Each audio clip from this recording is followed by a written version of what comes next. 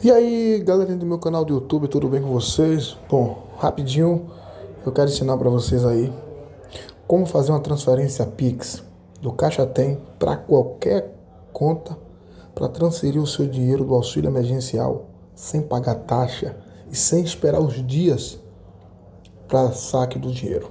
Vamos lá? Você vai vir aqui no seu aplicativo do Caixa Tem E você vem aqui em Pix, na primeira opção.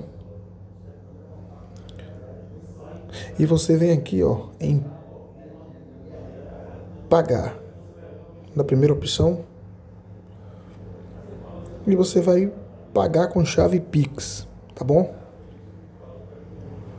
Eu vou escolher aqui a chave Pix do meu banco. Lembrando que se você não tem um, o Pix do, do outro banco você quer transferir, é só cadastrar. Tem um, um vídeo aí no meu canal do YouTube ensinando a fazer isso. Vamos lá? Eu vou digitar aqui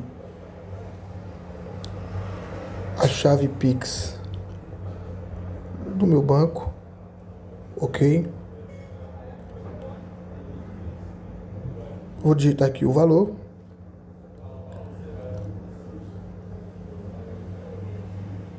Sim, continuar com a des... sem descrição, não quero colocar descrição nenhuma.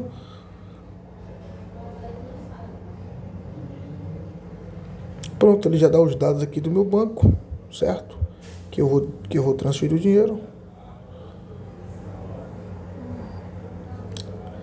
Tá ali tudo belezinha? Sim. Vou colocar a senha.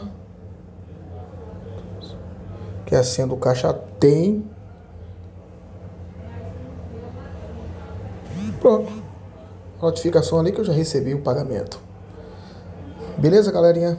Tá aí a nova forma de você transferir o dinheiro do Caixa Tem sem precisar pagar boleto, sem precisar transferir, sem precisar esperar os dias. É só fazer um Pix rapidinho, o dinheiro já cai em sua conta.